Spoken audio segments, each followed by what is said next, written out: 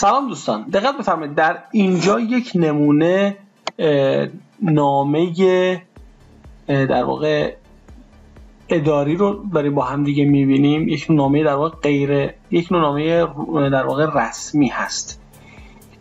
و یک نمونه در واقع واقعی از آزمون های آیلتس هست. همونطور که مشاهده میفرمایید دوستان تسک وان از آزمون آیلتس خب در واقع برای آزمون جنرال.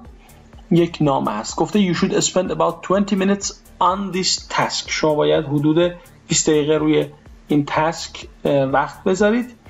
خب اما سوال چی است؟ گفته you live in a room in college which you share with another student. میگه شما در یک اتاق توی کالج زندگی می‌کنید که این اتاق رو شما با یه نفر دیگه شیر می‌کنید یعنی هم اتاقی دارید.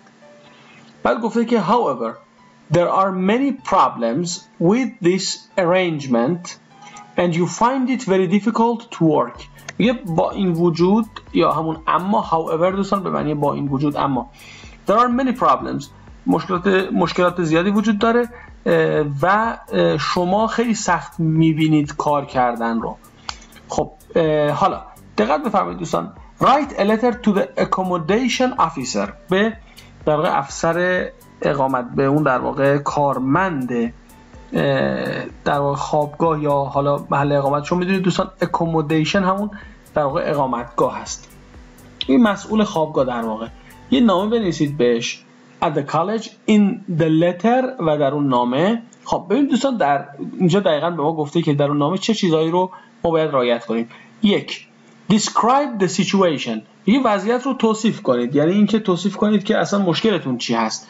که مثلا شما چه مشکلی دارید با هم اتاقیتون توی اون اتاق و سال دوم در واقع نکته دوم که ما باید در ناممون بگنجونیم این است که explain your problems and why it is difficult to work. خب اینجا دوستان پس اینجا دقیق ما توضیح میدیم که پس اول میگیم که اصلا وضعیتمون چطوره بعد میگیم که اصلا مشکلاتمون چی هست. گفته explain your problems. مشکلاتتون رو توضیح بدید. And why it is difficult to work. و بگید که چرا کار کردن براتون سخته. و نکته سوم گفته say what kind of accommodation you would prefer. یعنی بگید که چه نوع accommodation یا همون محل اقامتی رو شما ترجیح می‌دید. Would prefer دوستان می‌دونید به معنی ترجیح دادن هست. در پایین هم که گفته write at least 150 words حداقل 150 کلمه بنویسید. You do not need to write any addresses. هیچ آدرسی نیاز نیست بنویسید و خودش هم گفته که begin your letter as follows. به صورت زیر رامتون رو شروع کنید.